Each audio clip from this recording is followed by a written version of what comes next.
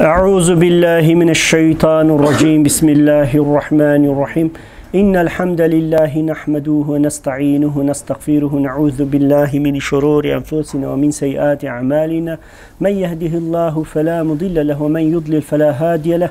وأشهد أن لا إله إلا الله لا إله إلا الله وحده لا شريك له وأشهد أن محمدا عبده ورسوله. يا أيها يا أيها الذين آمنوا اتقوا الله حق تقاته ولا تموتن إلا وأنتم مسلمون. يا أيها الذين آمنوا اتقوا الله وقولوا قولا سديدا.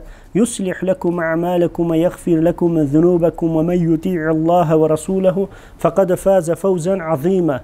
يا أيها الناس اتقوا ربكم الذي خلقاكم من نفس واحدة وخلق منها زوجها وبث منهما رجالا وكث رجالا كثيرا ونساء واتقوا الله الذي تساءلون به والأرحم إن الله كان عليكم رقيبا. أما بعد فإن أصداق الحديث كتاب الله وخير الهدي هدي محمد صلى الله عليه وسلم وشر الأمور محدثاتها وكل محدثات بدعات وكل بدعات ضلالة وكل ضلالة في النار. صدق رسول الله فيما قال أو كما قال قال الله في كتاب الكريم بسم الله الرحمن الرحيم. والعصر إن الإنسان لفي خسر إلا الذين آمنوا وعملوا الصالحات وتواصوا بالحق وتواصوا بالصبر. صدق الله العلي العظيم. Evet kardeşlerim Geçen derslerimizde Peygamber aleyhissalat vesselamın, halefin, selefin ve bütün İslam alimlerinin cehalet üzerine Maide 44, 45, 47 ayetlerinin tefsiriyle alakalı veya küfrün dunel küfür meselesi üzerine durduk. Rabbim nasip ederse bugünkü dersimizde de yani bir Müslümanın cehaleten yaptığı şirkin hükmü nedir? Cahil olan bir insanın hataları Allahu Teala nezdinde kıyamet günü mahşer meydanında ona karşı bir azabı için bir sebep midir yoksa onun için bir mazeret midir? Veya cehalet bizim nezdimizde Müslümanlar nezdinde bir insanı tekfir etmemek, bir insanın küfrüne hükmetmemek için bir delil midir, mazeret midir? Bu konuyu işleyeceğiz. Çünkü daha önceki derslerimizde işledik. Ama ve lakin bu mesele çok hassas, önemli bir mesele. Öyle önemli ve muhimdir ki nerede insanların, neredeyse insanların kendi din kardeşlerini cahil olan veya tevilde hata eden insanlara karşı kullandıkları en keskin kılıç tekfir kılıcıdır ve ona malin olan halleri kimse bilmediği için Müslümanlar pervasızca, futursuzca Müslüman kardeşini tekfir edebiliyor. Ona küfür isnadında bulunabiliyor. Bundan dolayı bu konuyu işleme ihtiyacı duyuyor. Çünkü gerçekten mesela Nebi Aleyhisselatü Vesselam havariş topluluğunun, harici topluluğun özelliklerini verdiği zaman onların soylarının kuru olduğunu ama sürekli kuru derken yani kesik olduğunu ama sürekli zuhur edeceğini ve bu ümmet için her zaman bu fitnenin var olacağını, bu fitnenin derinleşeceğini, daha çok Müslümanın Allahu Teala'nın haram kaldığı Müslüman kanını helal etme üzerine kurulu olduğundan dolayı Müslüman kardeşlerimizin yani gerçekten meselelere vakıf olmayanların hata etmemesi, yanılgıya düşmemeleri, Allah'ın haram kıldığını helal etmemeleri açısından Şirkte cehalet mazeret midir? Mazeretse delilleri nelerdir? Bunun üzerine gene konuşacağız. Nitekim İsra 15. ayet-i kerime kim bunu ehli sünnet ve cemaat İbn Teymiye, İmam Şafii, İmam Ahmed bin Hanbel ve diğerleri Allahu Teala bir kavme, bir millete Resul ve Nebi göndermediği müddetçe asla azap edemeyeceğini, Allahu Teala insanları hücceti ikame etmediği müddetçe bir kavme azap etmediği gibi onları helak etmeyeceğini de Kur'an-ı Kerim'de açık ve mutlak olarak söylüyor. Hatta İsra 15. ayet-i kerimede وَمَا كُنَّ مُعَذِّب۪ينَ حَتَّى نَبْعَاثَ رَسُولَهِ Biz Resul göndermedikçe hiçbir kavme azap edecek değiliz diyor. Allahu Teala bu ayet-i kerimede bunu derken kendisine hüccetin ikame edilmediği hiçbir kavmin yaptığı küfür, şirk, haram, Allah'ın hoşnut olmadığı masiyetler yüzünden asla helak edilemeyeceğini, illa onlara hüccetin ikamesi, hüccetin ikamesinden kast olunan Hz. Muhammed aleyhissalatü vesselam sünneti ve Kur'an'ın ayetlerinin ulaşması, onun da bunun gerçekten bilinçli ve şuurlu bir şekilde anlaması gerekiyor. Hatta başka bir ayet-i kerimede رُسُولُ مُبَشِّر۪ينَ وَمُنْذِر۪ينَ لِأَلَّا يَكُونَ لِلنَّاسِ عَلَى اللّٰهِ حُجَّاتٌ بَعْدَ الرَّسُولِ وَكَانَ اللّٰهُ عَز۪يزًا حَك۪يمٌ Bunları müjdeleyici ve uyarıcı elçiler olarak gönderdik ki ki Resul ve Nebileri Allahu Teala kastediyor. Yani gönderilmiş 124 bin peygamber ve Resul ve Nebi'nin gönderiliş sebebini Allahu Teala Kur'an-ı Kerim'de Nisa 165. ayet-i kerimede bu şekilde dile getiriyor. Peygamberler geldikten sonra insanların Allah'a karşı herhangi bir bahaneleri kalmasın. Allah üstündür, hikmet sahibidir. Yani Rabbül Alemin Resul ve Nebi gönderme sebebinin başında yarın kıyamet günü hiçbir kimse çıkıp da Allahu Teala mazeret ortaya koyup Rabbim sen bana bir Resul ve Nebi göndermedin, sen beni uyarmadın, sen bana benim aklımın, irademin algılayamayacağı konularda sen beni bir uyarıcıyla uyarmadığın için ben dalalete düştüm, sapıttım. Bundan dolayı senin beni azap etmeye hakkın yoktur gibi bir mazeret ortaya koymamaları için Allahu Teala'nın mutlaka her kavme, her millete, her insana Resul, Nebi, davetçi gönderdiğini açık ve net olarak bildiriyor. Nitekim İbn Kesir Rahimullah kendi tefsirinde bu ayetlerle alakalı olarak şöyle diyor. Allahu Teala kitaplarını indirmiş, Resulleri müjdeleyici ve uyarıcı olarak göndermiştir. Onların aracılığıyla sevip hoşlandıklarını ve sevmeyip reddettikleri hiç kimsenin bir mazereti kalmasın diye beyan edip açıklamak için gönderildiklerini açık ve net olarak bildiriyor. Nitekim başka bir ayet-i kerimede Taha suresi 134. ayette de Rabbül Alemin şöyle buyuruyor. وَلَوْ أَنَّ أَهْلَكْنَاهُمْ بِعَذَابٍ مِنْ قَبْلِهِ لَقَالُوا رَبَّنَا لَوْلَا أَرْسَلْتَ إِلَيْنَا رَسُولًا فَنَتَّبِعُ آيَاتِكَ مِنْ قَبْلِ اَنَّاذِلْ وَنَحْزَى eğer onları daha evvel azap edecek olsaydık, yani onları helak edecek olsaydık, Rabbimiz bize bir peygamber gönderseydin de alçak ve rezil olmadan önce ayetlerinle bizi uyarsaydı, uyar, uyarsaydın da biz de uysaydık diyeceklerdi diyor Allahu Teala. Yani mutlaka Rabbül Alemin hiçbir kavme mazeret, hüccet olabilecek yarın Allahu Teala nezdinde mahşer meydanında Rabbim işte sen şunu şunu yapmasaydın biz de helak olmaz yolumuzu kaybetmezdik demesinler diyor. Rabbül Alemin her kavme her millete mutlaka peygamber Resul Nebi gönderdiğini hiçbirinin elinde bir delil ve hüccet bırakmadığını yani helak olan da helak olacaksa bile Allahu Teala'nın vahisiyle ve hidayeti bulan yani Yahya olan yani hayat bulacak olanın da mutlaka Allah'ın hüccetiyle hayat bulmasını istemiştir. وَلَوْلَا أَنْ تُصِيبَاتُ مُصِيبَةٌ بِمَا قَدَمَّتْ اَيْدِيهِمْ فَيَقُولُوا رَبَّنَا لَوْلَا لولا أرسلت إلينا رسولا فنتبع آياتك ونكون من المؤمنين diyor. Kendi elleriyle yaptıkları yüzünden başlarına bir felaket geldiği zaman ey Rabbimiz bize bir elçi gönderseydin de ayetlerini uyup müminlerden olsaydık diyecek olmasalardı sizleri göndermezdik diyor Allahu Teala. Resul ve Nebi özellikle Peygamber aleyhissalatü vesselama eğer diyor yarın o, o mazeret sahibi Mekke müşrikleri olsun, Hz. İbrahim aleyhisselamın kavmi olsun, Hz. Musa aleyhisselamın gönderdiği Beni İsrail olsun ve bugüne kadar ve bugünkü Müslümanlar, bugünkü insanlar da dahil olmak üzere eğer kendilerine Resul ve Nebi gönderilmeseydi mutlaka bunu bir bahane edecek ve Allahu Teala'dan bu konuda ne diyeceklerdi? Rabbim sen bize Resul göndermedin, bize uyarıcı göndermedin. Biz namaz kılmayı nereden bilecektik? Oruç, tut, oruç tutmayı, helal ve haramı, şirki ve küfrü biz aklımızla bulamazdık. İlla Resul ve Nebi dediği için Allahu Teala hiçbir kavmi ve gönderdiği her peygamberin gaye ve amacının bu olduğunu söylüyor. Hatta Buhari ve Müslim müttefikun aleyhin olarak Resulullah sallallahu aleyhi ve sellem'den sahih olarak rivayet ettikleri bir hadis-i şerifte aleyhissalatü vesselam şöyle buyuruyor. Allah'tan daha kıskanç hiç kimse yoktur. Allah bu kıskançlığından dolayı açık kapalı bütün çirkin fiilleri haram kılmıştır. Övülmeyi Allah'tan daha çok seven kimse yoktur. Bunun içindir ki Allahu Teala nefsini övmüştür. Allah'tan daha çok hücceti seven yani insan seven kimse yoktur ki işte bundan dolayıdır Allahu Teala hiçbir kavmi milleti deli, müjdeleyici ve korkutucu Resuller olmadan onları helak etmemiş veya mutlaka onlara göndermiştir. Demiştir Nebi Aleyhisselatü Vesselam. Bunu da Müslüm 4. ciltte 1499 hadis numarası İbn Kesir de 5. ciltte 2044'te bu şekilde bildiriyor. Yani Nebi Aleyhisselatü Vesselam Allahu Teala'nın hücceti çok sevdiğini yani ille hiç kimseyi cahil bırakmak istemediğini bundan dolayı mutlaka müjdeleyici ve korkutucu Resul ve Nebileri gönderdiğini haber veriyor aleyhissalatü vesselam. Ve gerçekten de bugün öyledir. Yani baktığımız Kur'an ayetlerinde ben mesela neredeyse 40'ın üzerinde Kur'an ayetine baktığım zaman Allahu Teala helak ettiği kavimler gidin cehennemle korkutan veya cehennemliklerle alakalı cehennem cehenneme düşmüş, azap görmüş insanlarla alakalı ayetlerde bile cennetin bekçisinin, zebbanilerin sürekli onlara size bir uyarıcı, size bir Resul, size bir Nebi gelmedi mi? Onlar da bela diyecekler. Evet geldi ama biz ne yaptık? Zalimlerden olduk, onlara itaat etmedik, bile bile Allah'a isyan ettik diyerek kendi küfürlerinin bile mutlaka bir hüccete dayalı olduğunu, bile bile inat küfründen dolayı Allahu Teala'ya karşı isyanda bulunduklarını söyler.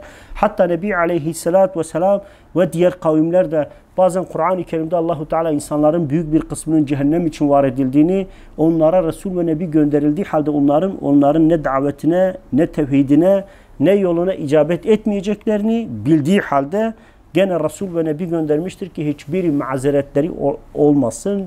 Kendileri kalkıp da Rabbim sen bize Resul ve Nebi göndermedin, bize uyarıcı göndermedin. Biz de kendi kendi ahmaklığımız ve cehaletimizin neticesine küfrü düştük iddiasında bulunmasınlar diye gönderdiğini söylüyor ve Tövbe suresi 115. ayet-i kerimede gene cehaletin mazeret olduğunu Allahu Teala'nın mutlaka hücceti ikame etmekle mükellef olduğunu Resul ve Nebilerin bununla sorumlu olduğunu dile getiriyor ve şöyle buyuruyor. Ve ma kana Allahu li yudilla kavmen ba'de iz hadahum hatta yubeyyine lehum ma yettakun inna Allah bi kulli şeyin alim. Allah bir kavmi doğru yola ilettikten sonra sakınmaları gereken şeyleri kendilerine açıklamadıkça onları sapıttıracak değildir. Allah her şeyi bilendir. Yani Rabbül Alemin hiçbir kavme Resul ve Nebi göndermediği müddetçe onları sapıtmamıştır. Ne zaman ki Resul ve Nebiler gelmiş, ne zaman ki hüccet onlara ulaşmış, onlar da kibirlenmiş, nefislerine yenilmiş, Allahu Teala'nın hakkaniyeti olan gerçekten tevhide karşı kibirli bir şekilde Resul ve Nebilerin, davetçilerin davetine sırtlarını dönmüş. Bunun neticesinde helak olduklarını Allahu Teala söylüyor. Nitekim ayet-i kerimelerde de Allahu Teala müşrik olarak ölen akrabalarını istiğfar ettikleri için onları kınayan ayetlerin hemen sonunda zikretmektedir. Nitekim Allahu Teala Müslümanların yani küfür üzerine ölen, kafir olarak ölenlerin sapıklığından bahsedilmesi için onlar sakınmaları gereken şeyle uyarılması gerekir. Nitekim ayet-i kerimede ve ma kana lin nebi lil nebi vellezina amenu la yestagfiru lil müşrikin ve lev kana ulil kurba min ba'dihi ma yetebeyyana lehum ennehum ashabul cehim diyor. Akraba bile olsa cehennem ahalisi oldukları belli olduktan sonra müşrikler için istik, istik, e, dileme yani istiğfar etme ne bir peygamberin ne bir müminin yapabileceği bir iştir. Yani küfür üzerine öldüyse, küfrü mutlak olduysa, kendisine vahiy geldiyse ondan sonra Allahu Teala artık onlar için istiğfar etmek, onların affını ummak ve istemeyi Allahu Teala kabul etmiyor. Hatta İbrahim Aleyhisselam babası için istiğfar ettiğini ama ne zaman ki Adullah onun Allah'ın düşmanı olduğunu gördüğü zaman İbrahim Aleyhisselam ne diyor? Teberre teberreyya ondan teberri etmiş, uzaklaşmış. Yani onun küfründen kendisini beri tutmuş, onun için istiğfardan vazgeçtiğini ayet-i kerime bildiriyor. Nitekim ayet-i kerimede İbrahim babası için istiğfar, e, mağfiret dilemesi sadece ona verdiği bir sözden ötürüydü. Fakat onun bir Allah düşmanı oldu. Kendisine belli olunca ondan uzak durdu. Gerçekten İbrahim çok içli ve yumuşak huyluydu. Yani Allahu Teala İbrahim Aleyhisselam'ın gerçekten insan çok yumuşak ruhlu, ve çok merhametli bir insan olduğunu söylüyor. Nitekim ayetin devamında da Allahu Teala ve ma kana Allahu li yudilla kavmen ba'dehi iz hadahum hatta yubeyyine lehum ma yettekun innallaha bi kulli şeyin alim. Allah Tövbe suresi 111, 113, 114 ve 115. ayet-i kerimelerde Allah bir kavme doğru yola ilettikten sonra sakınmaları, sakınmaları gereken şeyleri kendilerine açıklamadıkça onları sapıttıracak değildir. Allah her şeyi en iyi bilendir. Hatta İbrahim Aleyhisselam kavmine gitmiş, onlara tebliğde bulunmuş, hakla batıl arasındaki o ayrımı göstermiş, şirki, küfrü ve o insanların anlayabileceği bütün daveti yapmış.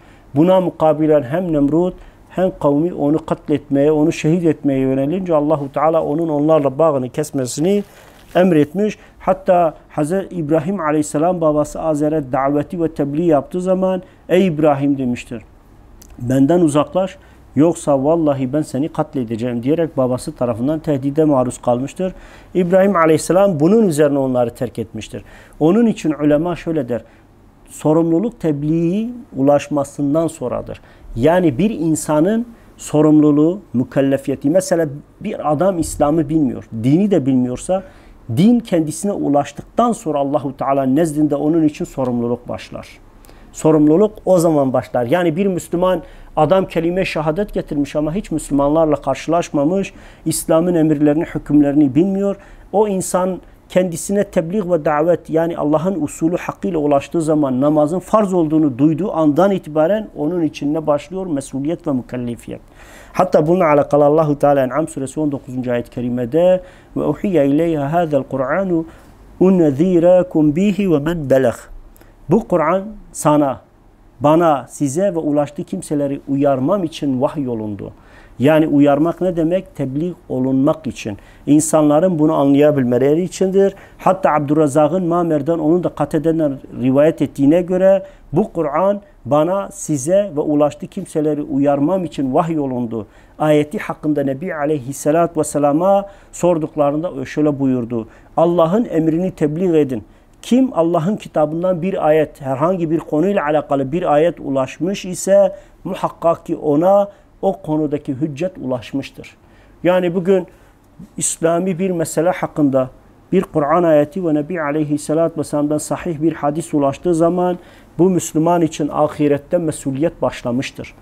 Artık o insan kendi ne yapamaz? Rabbim benim bilgim yoktu, ilmim yoktu, eksiktim, noksandım diyemeyeceğini aleyhissalatü vesselam açık ve net olarak söylüyor. Abdurrazak İbni Kesir 6. ciltte 2581 sayfasında bu şekilde bu rivayeti veriyor. Şeyhül İslam İbni Teymiye Rahimullah bununla alakalı yani sorumluluğun tebliğden sonra tebliğin ulaşmasından sonra olmasıyla alakalı olarak öyle şöyle diyor. Kişi için mükellefiyet tebliğin kendisine ulaşmasıyla sabitleşir. Bunun sebebi ise Allahu Teala'nın şu ayet kerimesidir. Ve uhiye ileyye hâzel Kur'ane unzîrâkum bihi ve men belag. Bu Kur'an bana size ve ulaştı kimseleri uyarmam uyarmak için vahyolundu. En'am suresi 19. ayeti delil olarak getiriyor. Bunun bunun haricinde de ve ma kunna muazzibina hatta neb'ase rasula biz Resul göndermedikçe bir kavmi azap edecek değiliz. Başka bir ayeti de delil olarak getiriyor. Resulü mubeşşirine ve munzirine li alla yekuna linnâsi alallahi hüccatun ba'dar rasulü ve kânallahu azîzen hakim ayeti.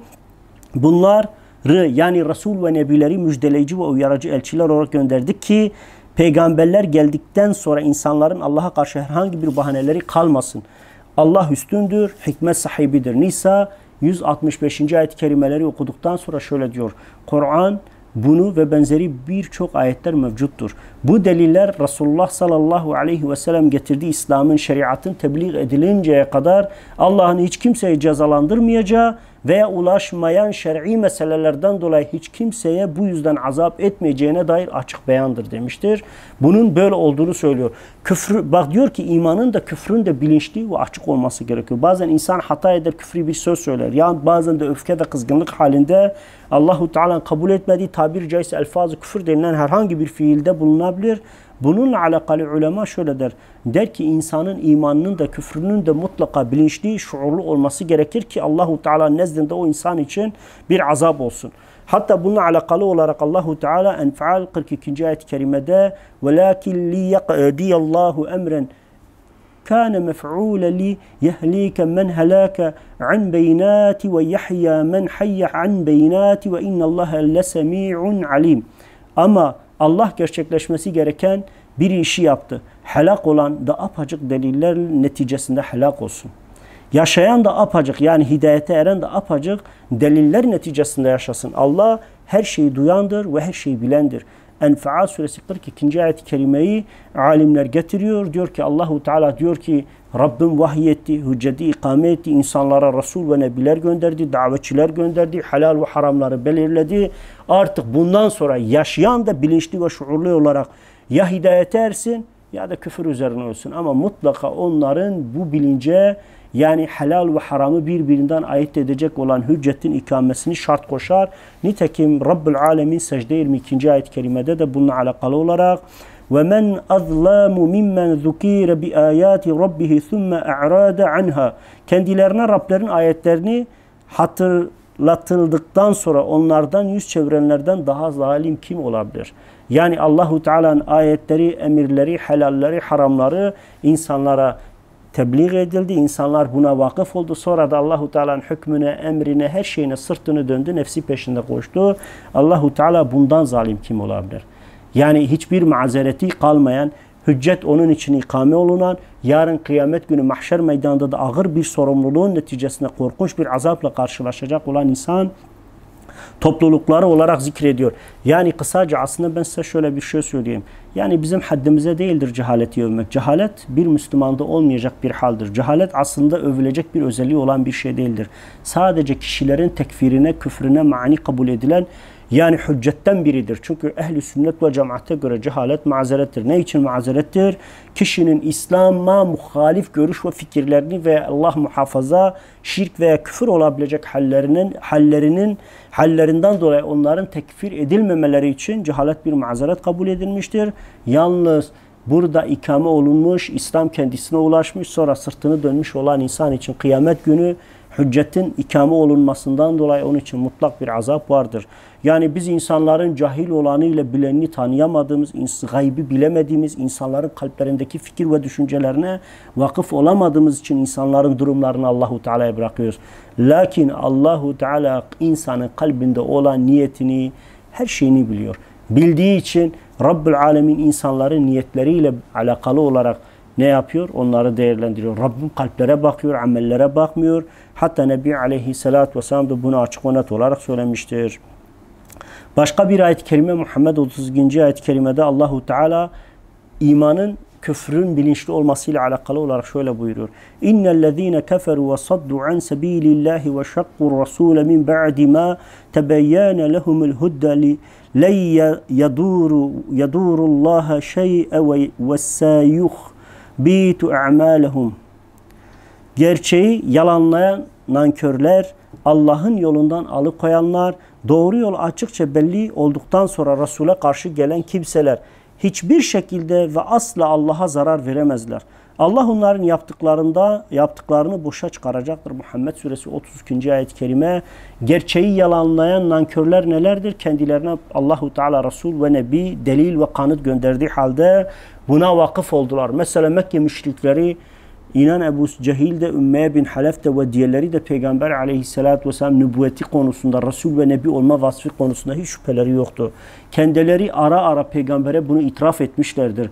Yalnız mesela düşünün amcası Ebu Talip ölüm döşeğindeyken bile Nebi aleyhissalatü vesselam ey amcacığım işte la ilahe illallah Muhammed Resulullah de de kıyamet günü sana şefaat edeyim dediğinde ey yeni Muhammed vallahi sen Resul ve Nebisin. Sen Allahu Teala'nın gönderdiği bir peygambersin. Yalnız ben iman edecek olursam Mekke'nin kadınları Ebu Talip korktu da Müslüman oldu diyecekler. Bundan dolayı iman etmedi. Ne yaptı? Kibirlendi, gururlandı. Ebu Cehil ve Ümmeye bin Halef gibileri de Muhammed Aleyhisselatü Vesselam'a ya Muhammed bizim için din paradır menfaat ve çıkarlarımızdır. Senin bir bizim 360 ilahımız zor bizi geçindirirken senin bir Rabbin maşallahu teala tek başına bize ne kazandırabilir diyerek aslında Peygamber aleyhissalatü vesselamın şuurlu bilinçli bir şekilde inkar ettiklerini ayet-i kerime söylüyor. Ondan dolayı Allahu Teala gerçeği yalanlayanlar, nankörler, Allah'ın yolundan alıkoyanlar, doğru yol açıkça belli olduktan sonra yani hüccet ikame edildikten sonra Resul'e karşı gelen kimseler hiçbir şekilde ve asla Allah'a zarar veremezler. Yani onların İslam'a, Allah'a, ahiret gününe, İslam'ın temellerine, dine hiçbir zararları dokunmaz. Ve Allahu Teala onların yaptığı çok şeyi boşa çıkaracağını açık ve net olarak dile getiriyor. Hatta Allahu Teala Kur'an-ı Kerim'de Araf suresi 35 ve 36. ayet-i kerimede de şöyle buyuruyor. Ya beni Adem'e imma ye'tiyekum rasulü minkum yakusuna aleykum ayati men ittaqa ve aslaha fela havfun aleyhim ve la ve la hum yahzanun. Ey adam oğulları size içinizde ayetlerimi anlatan elçiler geldiğinde her kim takvalı davranır ve kendisini düzeltirse onlara kaygı yoktur ve onlar asla üzülmeyeceklerdir.'' وَالَّذ۪ينَ كَذَّبُوا بِآيَاتِنَا وَاسْتَكْبَارُوا عَنْهَا اُولَٰئِكَ أَصْحَابُ النَّارِ هُمْ ف۪يهَا خَالِدُونَ Ayetlerimizi yalanlayıp onları kabule tenezzül etmeyenlere gelince onlar da ateş halkıdır. Onlar orada ebedi kalacaklardır. Arap suresi 35 ve 36. ayet kerimede. Yani Allahu Teala hangi kavim ve millet olursa olsun, kim olursa olsun kendisine hüccet ulaştıktan sonra iman edenlerin kurtulacağını bile bile isyan edip peygamber ve resul ve nebi ve Allahu Teala vahyisine karşı savaşanların mutlaka helak olacaklarını ve mutlaka korkunç bir azapla karşılaşacaklarını söylüyor. Nitekim yani gerçekten Allahu Teala illa yani illa hüccetin ikamesini dile getiriyor ve bütün ayetlerde Resul ve Nebi kavramını kendilerine hak ile batılı mutlaka insanlara aşina olduğunu, herkesin buna vakıf olduğunu, iman edenin de bilerek, isyan edenin de bilerek isyan ettiğini açıkça söylüyor. Ama cahil olan bir insan için hiçbir ayette onlar cahil diler, bilmedikleri halde biz onları cehenneme koyduk demiyor. Ancak müşrikler cahil bir toplumdur derken onların cehaletleri yani böyle Allahu Teala'ya karşı olan kibirleri, on enaniyetleri, tenezzül etmemelerinden dolayıdır. Mekke müşrikleri Peygamber aleyhissalatü vesselam'ı kabullenemediler. Dediler ki ya Muhammed sen bizim içimizde bir çocuktun. Biz senin seni hatırlıyoruz ne şartlarda büyüdüğünü. Hz. Nuh Aleyhisselam'a da kavmi öyle söyledi. Hz. Hud Aleyhisselam'a da kavmi öyle söyledi. Hz. Lut Aleyhisselam'a da. Hep ne dediler? Ya biz senin dününü hatırlıyoruz. Sen dün çocuktun. Şöyleydin. Bizimle yaşıyordun. Bizimle oynuyordun. Şimdi gelip bize peygamberlik mi yapıyorsun? Diyerek kibirlenmişlerdir. Kibirin neticesinde hakkı kabullenememişlerdir. Yoksa onların çoğu biliyorlardı ki bunların Allahu Teala'dan elçiler olduğunu. Çünkü hepsi mucizelere birebir şahit olmuş kendi içlerinde o toplumun en şereflileri, en ahlaklıları, en saygılı, en iffetli insanları olduklarını biliyorlardı. Mesela Muhammed aleyhissalatü vesselam Mekke müşriklerince, müşriklerince ona atfedilen isim nedir? El-Emin'dir. Güvenilir Muhammed yani yalan konuşmayan, ikiyüzlü davranmayan bu toplumun en dürüstlüğüydü. Hatta Mekke müşrikleri Kabe'nin inşası sürecini yaptıkları zaman aralarında ihtilaf oluşuyor. Neredeyse savaşacak duruma geliyor. Hepsi kılıçlarını kuşanıyor ve sonra aralarında bir diyor ki ama kim diyor ki ilk Kabe kim bugün gelirse o hakem olsun deyince tamam kabul ediyorlar, bekliyorlar. İlk Muhammed Aleyhisselatü Vesselam gelince adamlar sevinçten ayağa kalkıyor. Çünkü bu Muhammed'in emindir. En güvenilir, hiç kimseyi kayırmayan, rüşvet yemeyen, rüşvet vermeyen en karakterli kişilik sahibi olanımız. Yani Mekke'nin en şereflisi, en ahlak bakımından üstün olanları olarak kabul ettikleri için Peygamber aleyhissalatü vesselam verdiği kararı da tereddüt etmeden kabul ettiler. Ama aynı Mekke müşrikleri ne zaman ki Allahu Teala onlara vahiy gönderdi, Resul ve Nebi olarak Muhammed aleyhissalatü vesselam'ı gönderdi. Onların atalarından, babalarından öğrendikleri o batıl dine karşı Hz. Muhammed aleyhissalatü vesselam tevhid bayrağını kaldırdı. Bu sefer Peygamber aleyhissalatü vesselam'a açıkça ne yaptılar? Düşmanlık beslediler. Hatta bununla alakalı Kassas suresi 59. ayet-i kerimede Allahu Teala Resul ve Nebi gelmeden hüccet bir topluma ulaşmadan asla Allahu Teala'nın kimseyi helak etmediğini, etmeyeceğini, hiç kimseyi cezalandırmayacağını, azaba da düccar kılmadığını söyler. Çünkü kendilerine Allah'ın hücceti geldikten sonra eğer bir kavim helak edilmişse ona hüccet gelmemiş hiçbir kavim helak edilmemiştir. Ve biz şunu çok iyi biliyoruz ki dünyanın dört bir yanında her kavme, her köye, her beldeye Allahu Teala ya Resul ya Nebi göndermiştir. Bazen büyük bir aileye bile Allahu Teala bir Nebi Onlara Allahu Teala'ya davet edecek, yanlışlarını düzeltecek rasuller göndermiştir. İşte bu ayet kerimede de ve ma kana rabbuka muhlike kurra hatta yeb'asa fi um ummiha rasulen yetlu aleyhim ayatina ve ma kunna muhlikul kura illa ve ehluha zalimun. Senin Rabbin ana yerleşim merkezlerine onlara ayetlerimizi okuyan bir elçi göndermedikçe şehirleri yıkıma uğratma, uğratacak değildir. İlle Resul Nebi gönderecek değildir diyor. Ve yine biz halkı zulmeden şehirlerden başkasını da asla helak etmedik diyor Allahu Teala. Yani Resul gönderdi, Nebi gönderdi, uyardı, tebliğ etti. Onlar da isyan ettiler. Açıkça küfürlerini ortaya koydular. Hatta hepsi de bunu Kur'an-ı Kerim'de mesela rahmetli Seyyid Kutub'un Kıssas-ı Nebi peygamberlerin hayatlarıyla alakalı kitaplarına Kur'an-ı Kerim'de 25 peygamberin hayatına baktığınızda bütün kavim, o 25 kavmin hepsi helak edilenlerin hepsi ne demişlerdir? Ey Nuh, boş konuşma, Rabbinin bir azabı varsa gelsin. Ya Lut, sen bize o, o erkekleri ver eğer Allahu Teala gerçekten bizi helak edecekse etsin. Böyle hep tehditlerle. Açıkça isyanla isyanda bulunmuş Arkasından Allahu Teala ne yapmıştır? Onları helak etmiş, yok etmiş, yeryüzünden silmiştir. Ki Kıssas suresi 59. ayet-i kerime bunu açık ve net olarak söylüyor. Allahu Teala hiçbir kavmi, hiçbir toplumu, hiçbir şehri, hiçbir merkezi, hiçbir kariyeyi ayetleri okuyan Resul ve Nebi davetçiler göndermediği müddetçe asla o şehirlerde yıkıma sebep olacak bir azap göndermemiştir diyor. Ve yine biz halkı zulmeden şehirlerden başkasını da asla helak edecek değiliz. Zulüm nedir? Bile bile zulmedenler, bile bile Allahu Teala'nın hükümlerini çiğneyenler olarak tarif ediyor. Ve başka ayet-i kerimede şu ara 208 ve 9'da da şöyle buyuruyor Rabbül Alemin. Gene aynı keza cehaletin den öte Allahu Teala mutlaka her helak edeceği her kavme, her millete mutlaka bir Resul Nebi gönderdiğini ve Resul Nebi davetçi ulaşmadığı müddetçe hiçbir kavmi helak etmediği gibi sorumlu da tutmadığınız dile getiriyor. Ve ma ehlekna min qariyatin illa leha munzirun. Biz helak ettiğimiz her ülkenin mutlaka uyarıcıları vardır diyor. Resul ve Nebi ve davetçiler onlara ulaşmıştır. Zikre ve ma kunna zalimin. Bu öğüttür. Biz haksızlık yapanlardan olmadık diyor. Biz öğüt, öğütçüler gönderdik, nasihat ediciler gönderdik, tebliğçiler gönderdik. Onlar da bile bile ne yaptılar? Allahu Teala'ya isyan etmeye devam ettiler. Netice olarak helak olacakları kendisilerine bildirildiği halde onlar da Allahu Teala'ya meydan okudu ve dediler ki ya filan peygamber hadi senin iddia ettiğin o azap nerede gelsin? Gelsin de biz hazırız gibisinden isyanlarını, küfürlerini açıkça ortaya koymuş. Bu da onları açıkça helak etmiştir. Nahl suresi 14. ayet-i kerimede de Allahu Teala açık ve net olarak doğruluğundan emin oldukları halde haksızca ve büyüklenerek bile bile yalanladılar ama bozguluncuların sonlarının nasıl olduğuna bir bak diyor. Allahu Teala diyor doğruluğundan ve emin oldukları halde yani peygamber ve Resul kendilerine geldiğine kanaat ettiler veya Kur'an'ın hak Allah'ın şeriatının mutlak olduğunu bildiler. Haksızlık ve büyüklenerek bile bile yalanlayıp inkar ettiler. Yani burada hiçbir cehalet yok. Hepsi mazur olabilecekleri hiçbir vasıfları yok. Yarın kıyamet günü mahşer meydanına çıkıldıkları zaman Rabbim sen bizi uyarmadın ki biz nereden bilelim bu işleyeceğimiz fiil küfürdür, şirktir. Veya bu şirkin, bu küfrün ve bu şirkin sebep ve sonucu helak olmaktır. Biz bilmiyorduk, bilseydik yapar mıydık demesinler diye Allahu Teala hiçbirine ellerinde hüccet bırakmaksızın hepsini helak ettiğini söylüyor. Ama bozguncuların sonlarının nasıl olduğuna bir yeryüzünde bak diyor Allahu Teala. Git Nebati devletinin başkenti olan Vadi Rum'daki Petra şehrine bak.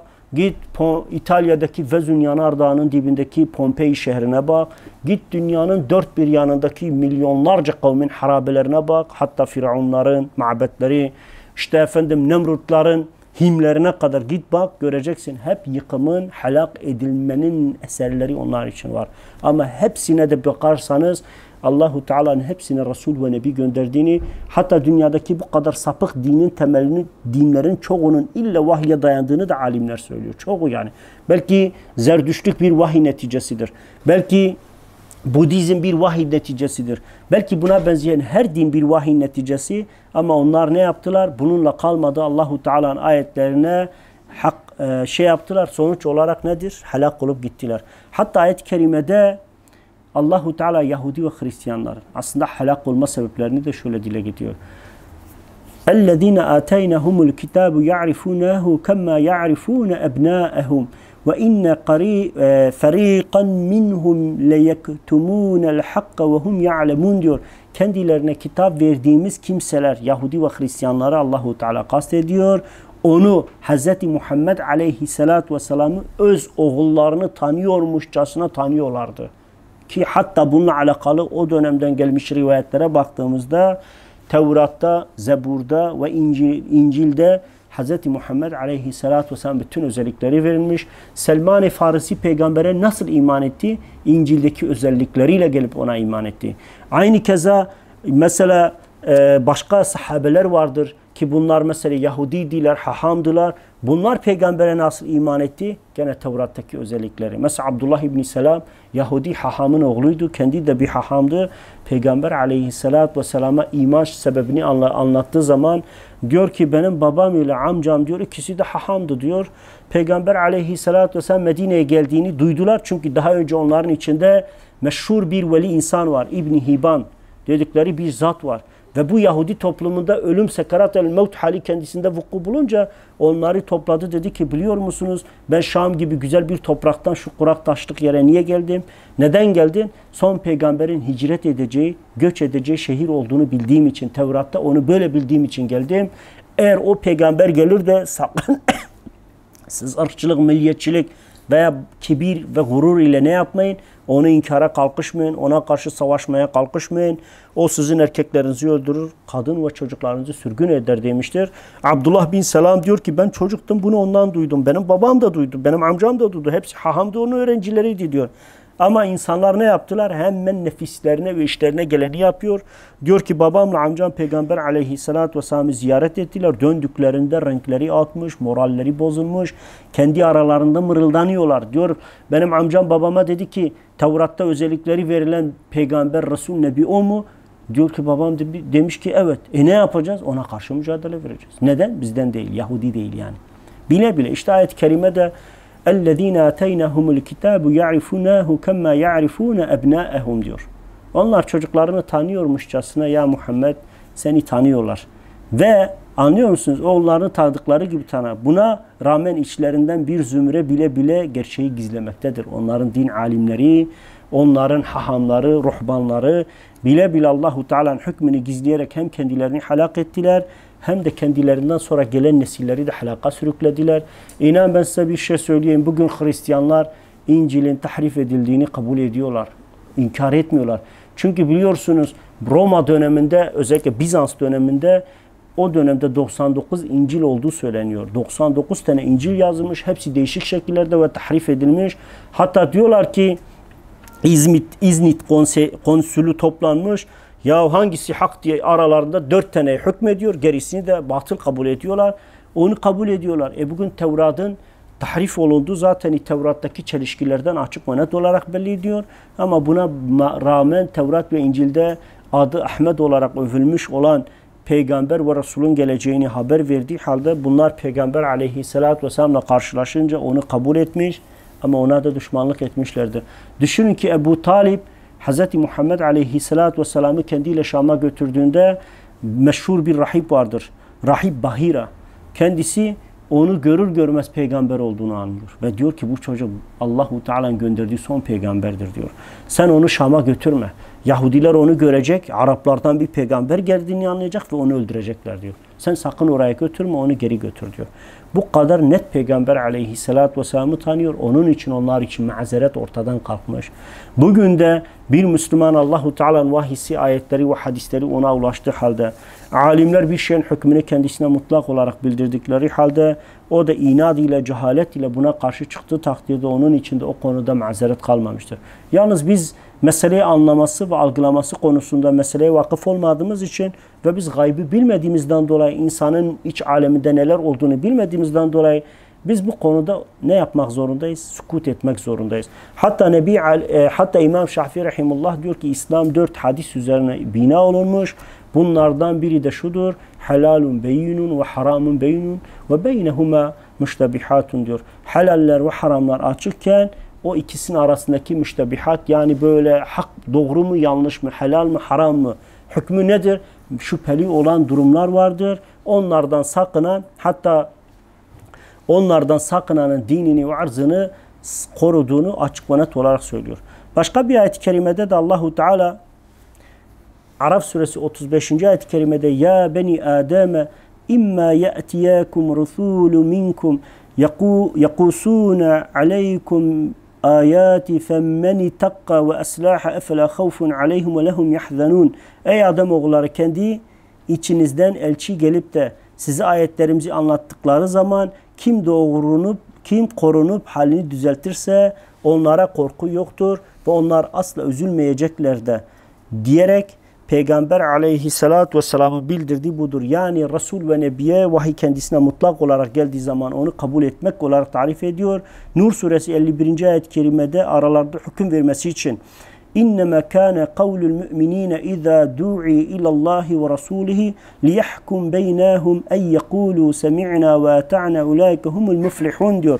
Aralarında hüküm vermesi için Allah'a ve Resulüne çağrıldıkları zaman müminler sözü ancak işittik ve itaat ettik demeleridir. Demeleri oldu. İşte bu onların kurtu bu bunlar kurtuluşa erenlerdir diyerek ayet-i kerime açık ve net olarak hükmünü veriyor. Hatta Kur'an-ı Kerim'de Allahu Teala cehennemliklerden bile haber verdiği zaman ne diyor? İnkar edenler bölük bölük cehenneme sürüldüler. Yani peygambere iman etmediler, Müslüman olmadılar, İslam'ı kabul etmedi, ateist, komünist hepsi için geçerli. Oraya geldikleri zaman cehennemin kapıları açıldı. Cehennemin bekçileri onlara şöyle dedi. Kendi aranızda Rabbimizin ayetlerini size okuyan ve sizi bugünün karşılaşacağınızın e, karşılaşacağınız hakkında uyaran elçiler gelmedi mi? Onlar evet dedi ama küf, kafirlere azap sözü hak oldur diyor.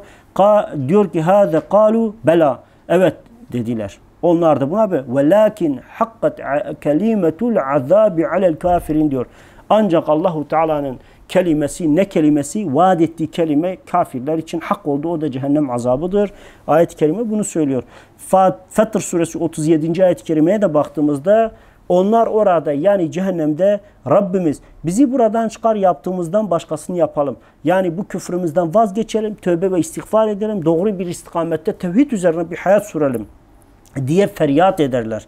Onlara denilir ki size öğüt alacak, o al, e, alacak olanın öğüt alacağı kadar bir süre yaşatmadık mı? Size uyarıcı da geldi. Öyleyse tadın artık azabı. Zalimlerin yardımcısı yoktur diyor Allahu Teala. Yani bile bile nefsine zulmeden zalim o demektir. Bile bile. Bunun bile bile Allahu Teala isyan edenler için bir yardımcının olmadığını söylüyor. Zuhruf suresi 74, 75, 76, 77 ve 78'de de Allahu Teala gene cehennemliklerden haber veriyor. Suçlular ise cehennem azabı da ebedidirler. Üzerindeki azabı hiç ara verilmez. Orada ümitsizdirler. Böyle olma, olmakla bize onlara zulmetmiş değiliz. Fakat asıl zalim olanlar kendileridir. Onlar cehennemin bekçisine şöyle seslenirler. Ey Malik söyle de Rabbimiz işimizi bitirsin. Yani bizi helak etsin, yok etsin. Ruhlarımızı bitirsin, öldürsün yani. Ebediyen bizi yok etsin. O da der ki siz burada kalacaksınız. Şurası bir gerçek ki biz sizi hakkı, biz size hakkı getirmiştik. Fakat çoğunuz haktan hoşlanmadınız. Bile bile Allahu Teala'ya sırt döndünüz. Mülk suresi 8 ve 9. ayet-i kerimede de cehennem az daha öf öfkeden çatlayacaktı. Her topluluk onun içerisine atıldıkça onun bekçileri onlara sordu. Size bir uyarıcı gelmedi mi? Dediler ki evet geldi ama biz onlara uyanlardan olmadık. Bunlar hepsi bütün Resul ve Nebilerin mutlaka kendilerine uyarıcılar gelen toplumlar olduğunu açık ve net olarak bildiriyor. Yani tabiri caizse Şeyhülislam İbni Teymiye Rahimullah bu konuda şöyle der. Bir söz küfür olup onu söyleyen tekfir edilebilir. Mesele kim şunları şunları söylerse ve yaparsa kafirdir demek gibi fakat o sözleri söyleyen müşahhas bir kişi yani sıradan bir insan kişi olduğunda hüccet ona ikame edilinceye kadar küfrüne hükmedilmez. Müşahhas kişiyi tekfir ettirici şey hüccetin ikamesi.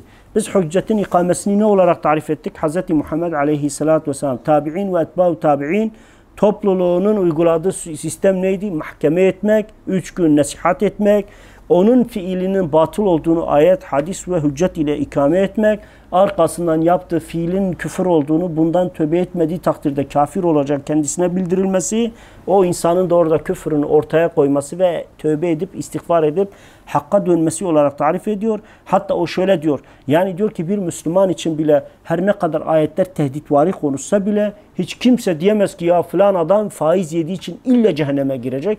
Çünkü böyle bir şey söz konusu değil. Hatta Nisa 10. ayet-i kerimeyi dile getirerek şöyle diyor. İnnellezîne ye'kulûne emvâlu yetâme zulmen innemâ ye'kulûne fî butûnihim nâren seyaslevnâ sa'îre. Öksüzlerin mallarını zulümle yiyenler karınları sadece ateş doldurulmaktadır. Onlar çılgın bir ateşe gireceklerdir. Nisa 10. ayet-i kerimeyi getiriyor.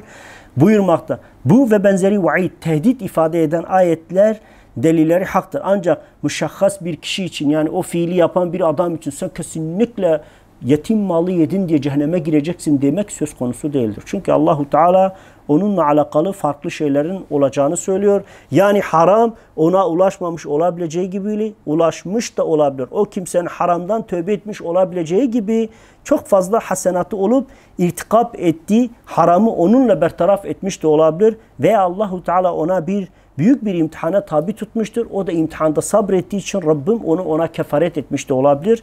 Ondan dolayı bir fiili yaptığı için hiç kimse küfür isnadında bulunamayacağını açık ve net olarak söylüyor. Ve bizim buradaki delillerimiz sıraladığımız zaman bununla alakalı sünnetler ama yalnız şunu bir gerçek ve hakikat olarak gördük ki burada okuduğumuz 15-20 ayet-i kerimenin hepsinde Allahu Teala bir insanın helak olması için, bir insanın küfre girmesi, bir insanın cehennemlik olabilmesi için mutlaka hüccetin ikamesi şartını koyuyor. Hüccet ikame edilmediği müddetçe kimsenin üzerine bir azap kaleminin yazılmayacağını veya helak edilmeyeceklerini de söylemektedir. Allahu Teala hepimizden razı olsun. Rabbim bizleri Kur'an ve sünnetten, haktan ve şeriattan ayırmasın. İlahi salli ve sellim ya Rabbi ala habibike Muhammed Mustafa ala li kulli sahibi kulli ecma'in ve şuhedai ve salihin. Lillahi Teala el-Fatiha. Tamam salavat.